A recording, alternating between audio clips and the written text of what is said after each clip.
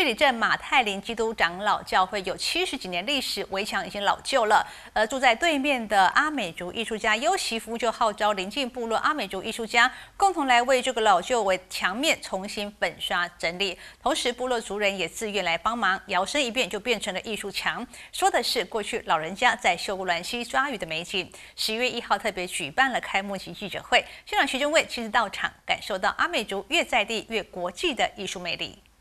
墙壁上色彩鲜艳的瓷砖，仔细一看，有一条一条的鱼、太阳以及河流线条。再往后面走过去，能够清楚看到大片的鱼藤，就知道这面墙说的就是部落生活的印象。有很多的观光客要来到台湾，要看的不是呃一零一。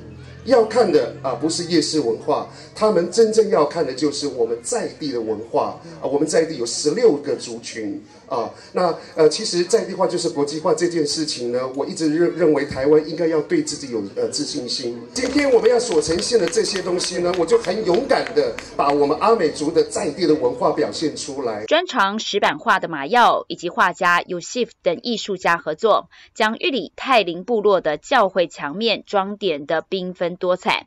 十月一号办理艺术墙的开幕与记者接待会，花莲县长徐祯伟也亲自到场，感受到阿美族越在地越国际的艺术美丽。艺术家就藏在我们的部落里面，而我们更希望我们部落里的艺术家经营我们的部落，而被大家来看见。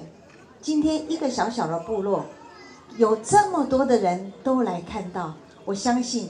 这就是艺术的力量。部落头目说，过去公部门想要将一九三线道的艺术氛围打造起来，但是一直都没有人潮以及发展。这两年多来，Yusif 来到部落，整条一九三线摇身变成艺术村，更是期待未来艺术墙能够为部落带来更多的发展。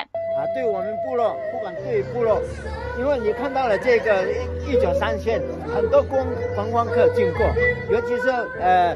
呃，那个装修的时候，很多车子都会来这里，所以总是会停在这里。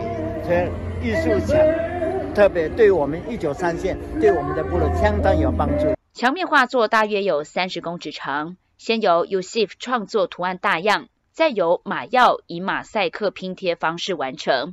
虽然目前还没有全部完成，但是半成品就已经吸引民众目光以及人潮来到部落观光。有 s i p 更希望透过自己的艺术创作，让更多部落年轻人看到部落发展的可能，然后就回家吧。记者高双双玉里镇采访报道。